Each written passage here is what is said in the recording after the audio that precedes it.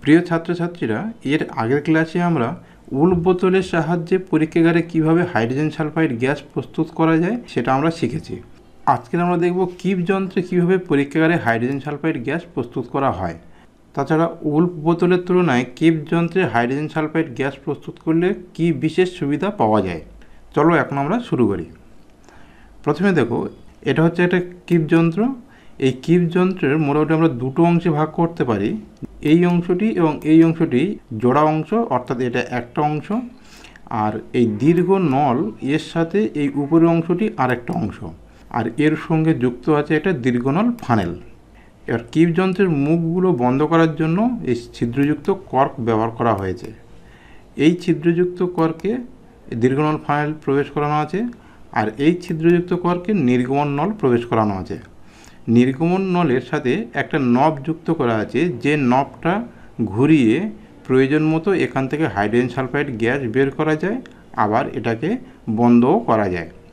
Keep যন্ত্রের এই মুখ বন্ধ করার আগে ফেরাস সালফাইড এই অংশে ভরে নেওয়া হয়, তারপর এটাকে ছিদ্রযুক্ত কর্ক দেওয়া বন্ধ করা হয় এবং তার মধ্যে নির্গমন নল প্রবেশ করানো হয়। এরপর দীর্ঘনল ফানেলের সাহায্যে এই পাত্রে অ্যাসিড ঢালা হয়। এখানে অ্যাসিড ঢাললে সেই অ্যাসিড এই দীর্ঘ নলের মাধ্যমে এসে নিচের পাত্রে জমা হয় এবং এই পাত্রটি ভরে গেলে অ্যাসিড আস্তে আস্তে উপরের দিকে উঠতে থাকে এবং ফেরাস সালফাইডের সংস্পর্শে আসে। ফলে ফেরাস সালফাইড এবং এই লঘু সালফ্রিক অ্যাসিড এর বিক্রিয়াতে হাইড্রোজেন সালফাইড গ্যাস উৎপন্ন হয়। এখানে সেটা জমা হয়।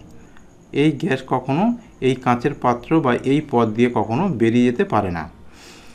এবার এখানে উৎপন্ন হাইড্রোজেন সালফাইড গ্যাস সেটা প্রয়োজনে ব্যবহার করার জন্য এই নবটা ব্যবহার করা হয়। অর্থাৎ নবটা ঘুরিয়ে আমরা এখান থেকে হাইড্রেন সালফাইড গ্যাস নিয়ে আমাদের প্রয়োজনে আমরা ব্যবহার করতে পারি বা ল্যাবে ব্যবহার করা হয়।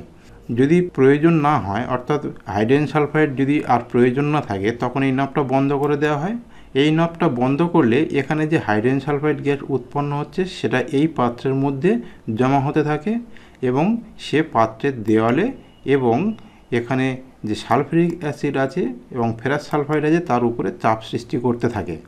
এখানে যথেষ্ট পরিমাণ হাইড্রোজেন সালফাইড গ্যাস জমা হলে সে সালফিউরিক অ্যাসিডের উপর এতটাই চাপ দেয় যে সালফিউরিক অ্যাসিড নিচের দিকে নামতে থাকে এবং সেই অতিরিক্ত সালফিউরিক অ্যাসিডটা এই নল দিয়ে আবার বেয়ে উপরে উঠে যায়।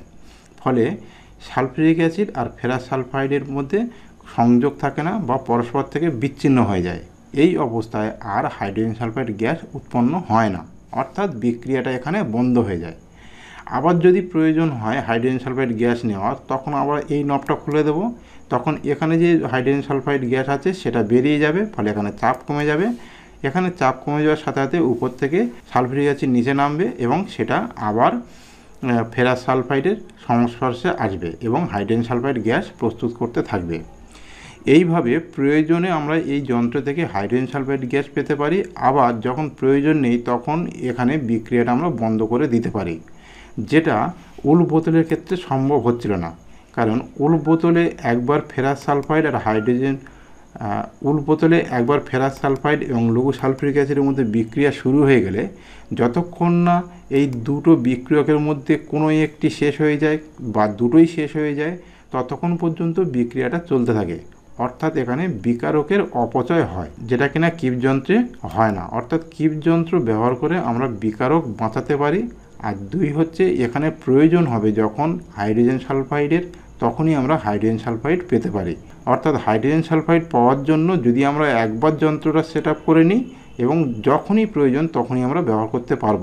সেটা কিন্তু এই উল বোতলে সম্ভব নয়। কারণ এখানে প্রতিবারে অ্যাসিড ঢালতে হবে, প্রতিবারে ফেরাস সালফাইড দিতে হবে, তারপরে বিক্রি হবে এবং হাইড্রোজেন সালফাইড গ্যাস উৎপন্ন হবে। ঠিক আছে, আজকের ক্লাস এই পর্যন্ত। এর পরের ভিডিও পাওয়ার জন্য অবশ্যই চ্যানেলটি সাবস্ক্রাইব করে রাখো এবং ভিডিওটি লাইক করো, বন্ধুদের সাথে শেয়ার করো।